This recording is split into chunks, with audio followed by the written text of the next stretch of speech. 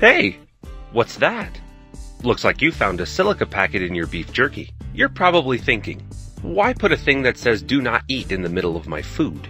Well, these little packets actually trap water from the air and keep it away from the jerky, giving you access to that delicious, perfectly dry texture you love so much. Let's take a closer look. You can see that molecules of water are being drawn towards and sticking to the surface of the silica gel. It looks like the molecules are actually being held in place at the surface by some kind of process. Looks like the process is sorption. Zoom in closer, and this process where a solid collects molecules on its surface is called adsorption. Adsorption is the adhesion of particles on surfaces. Adsorption happens when atoms, ions, or molecules attach to the surface of a substance without entering it. They accumulate at the surface of a phase and are attracted to it, but they do not transfer into the other phase. An example would be chemicals in a liquid adhering to a solid surface. It's not absorption with a B. That's what happens when molecules are transferred into and then distributed throughout the whole substance. Absorption happens when atoms, molecules, or ions of one phase enter inside a substance of another phase and are incorporated by it. Say, liquid absorbing into a towel.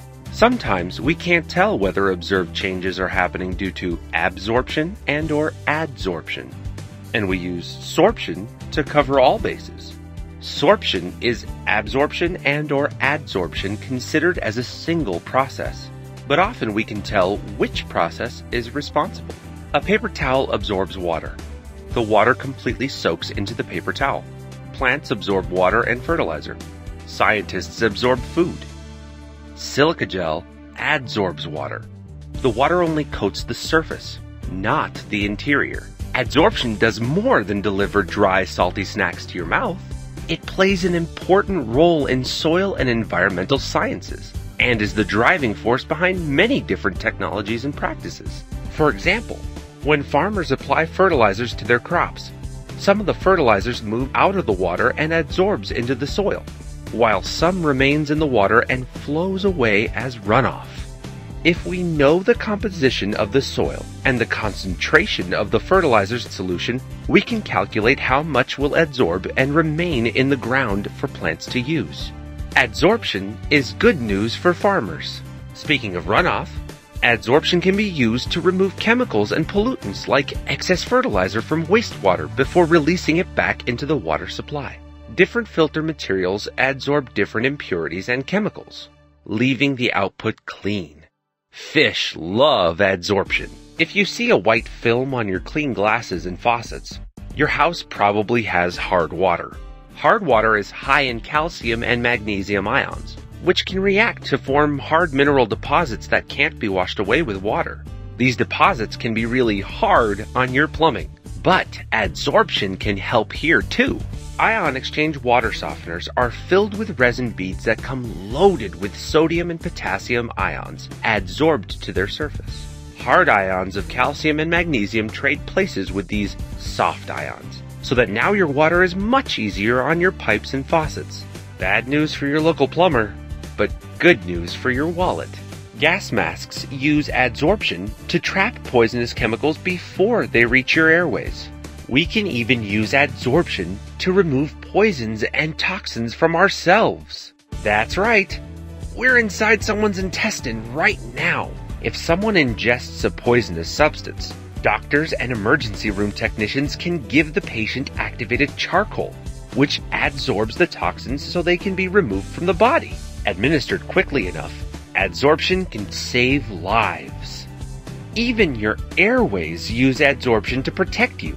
As you breathe in through your nose, your nose hairs adsorb microscopic particles out of the air and trap them before they can enter your lungs.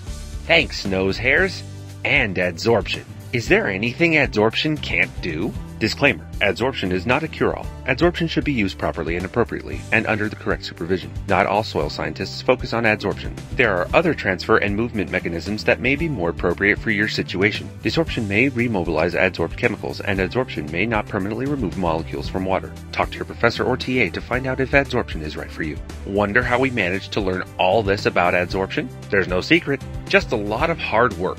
Soil scientists run a lot of adsorption labs because it turns out that a lot of different things can affect adsorption rates. For example, particle size in soil has a large effect on how much surface area there is for things to adsorb to. The smaller the particle sizes, the more surface area you have. How does this work? Let's use a piece of your jerky as an example. If we cut this piece of jerky in half, we have the same amount of jerky. But now we have two new exposed surfaces. Cut each of these in half and we now have four more surfaces. Cut them in half again and we have eight. And so on and so on. The surface area increases exponentially as the pieces get smaller. Soil particle size has the same effect. Gravel has large particle sizes. Sand has smaller particles than that. Clay has even smaller particles than sand. So clay has more surface area and can adsorb more than the same volume of sand or gravel, just like beef jerky pieces and beef jerky dust. And particle size is just one of the many things that affect adsorption magnitudes. Temperature, solution concentration, and even air pressure can affect your results. Scientists spend a lot of time running sorption labs to help isolate these variables. How do soil particles collect phosphates? How much fertilizer is left in runoff water? How much spilled rocket fuel can be removed from a river? How much calcium is in your hard water? How much poison can charcoal absorb? And how much silica gel goes inside every package of beef jerky? You're welcome.